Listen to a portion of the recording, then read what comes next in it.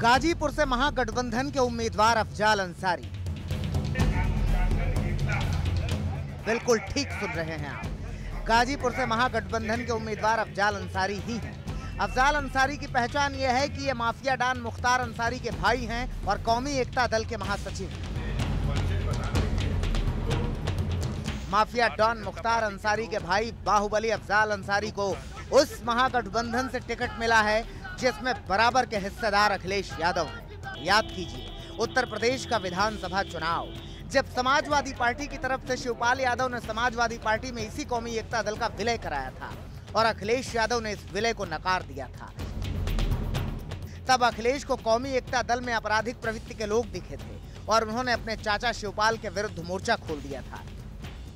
अखिलेश ने समाजवादी पार्टी के तत्कालीन मुखिया तक की बात नहीं सुनी थी, मगर अब सब कुछ ठीक है। अब अखिलेश की ज़ुबान पर ताला है और नैतिकता सियासत की भेंट चढ़ी हुई है।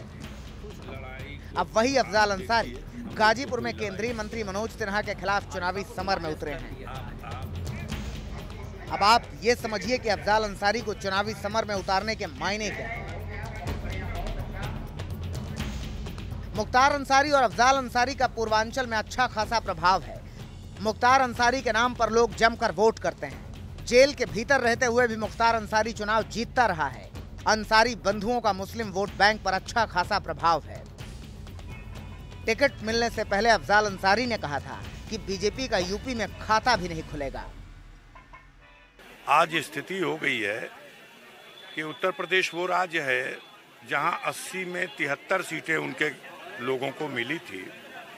और आज किसी सीट पर उनकी बोहनी हो जाए, यह भी गारंटी से नहीं कहा जा सकता। अफजाल अंसारी भरोसे से भरे हुए हैं। देखना दिलचस्प होगा कि केंद्रीय मंत्री मनोज सिन्हा के सामने अफजाल की बाहुबली छवि क्या गुल खिलाती है।